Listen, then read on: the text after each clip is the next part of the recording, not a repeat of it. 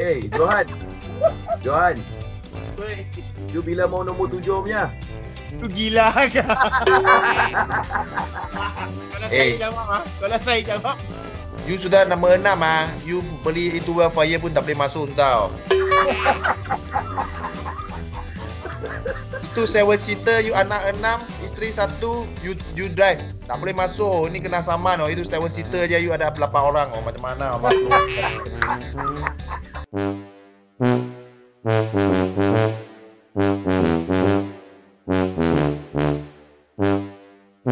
Yang ini daripada Anita. Dia kata bukan nama sebenar. Dia rahsiakan dia punya nama. Makcik-makcik selalu sibuk tanya pasal jodoh dan kahwin. Kalau Oh. ke reunion mesti soalan sama. Bila mau kahwin? Bila mau kahwin? Dia stress lah. Dia setengah orang kan setan Ha, lah. ha. Dia tak suka tau ni soalan. Kadang-kadang lah. Eh, dia tengok semua orang sudah kahwin tapi dia tak kahwin lagi. Tapi bila sudah kahwin dia tanya, eh bila mau ada anak? Ah, macam mana ah? Setan dah susah macam-macam. Hai, pening lah macam ni. Janganlah selalu tanya macam tu. Kita punya live, kita sendiri handle lah cakap sama dia. Kan? Kita nak kahwin tak nak kahwin ke, kan? Ha. Betul tak? Ni, mana saya tahu betul ke tak betul you yang bagi tahu. Tak lah, kita punya live mah. Kita nak kahwin ke, tak nak kahwin ke, biarlah kan? ha. Yalah aku tak nak kahwin kan. Sorang. macam mana Mr. Tan, macam mana nak avoid atau elak ini ini daripada jumpa anti-anti ah, ai-ai ah, aku-aku supaya jangan cakap sembarangan. Supaya jangan cakap, senang je. Tahun ni, kan, you jumpa dia bila nak kahwin. Ha, dah ready lah next year, next year. Ha, next year lagi, next year lagi. Ha. Betul lah. Kan? Dia tanya je next year lah. Dia Ha, tanya next year kan? Ha. At least, Kalau- at least you kasih dia dia harapan sikit tau. Kasih dia hope sikit kan. Next year. Ah dia tunggu-tunggu lepas tu dia next year. Eh belum lagi lah semalam uh, hari tu cakap next year. Ah next year lagi lah. dia cakap next year je. Lepas tu dah settle lah.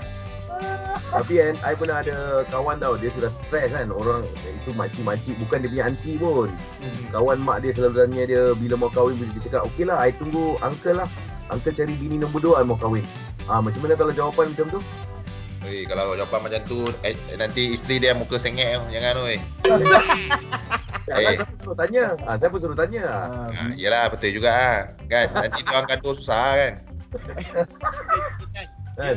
Dia dia daripada setahun setahun setahun at last kahwin.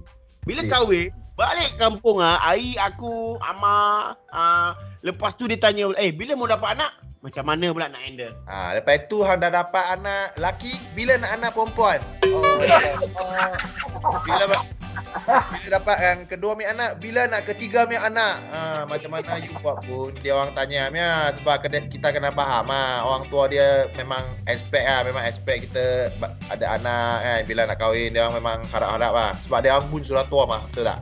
Betul lah, betul lah. Kadang-kadang dia orang tanya pun ah saya punya telinga pun pening ah. Eh pun pusing juga eh telinga saya. Telinga pening eh. Telinga pening. Telinga pusing. Ha, Oh, telinga pusing. Kepala Aduh. telinga pusing. Eh, Johan. Johan, Weh, you bila mau nombor tujuh punya? Tu gila ke? Kalau saya Eh. jawab ah, kalau saya jawab You sudah nombor enam ah. You beli itu wildfire pun tak boleh masuk tau.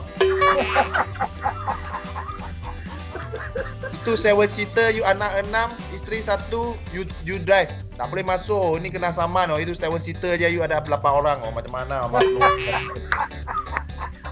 saya kena downgrade, downgrade beli van Venet. ah, kena beli van lah.